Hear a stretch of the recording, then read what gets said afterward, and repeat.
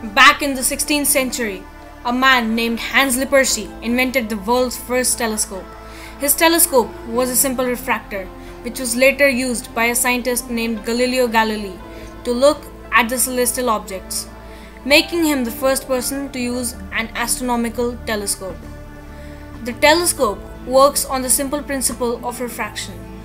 When the light hits the objective lens, it bends and gets focused at the back of the barrel, at the eyepiece. Refractors are of two types apochromats and achromats. Apochromats use three or four lenses to focus light, which reduces chromatic aberration.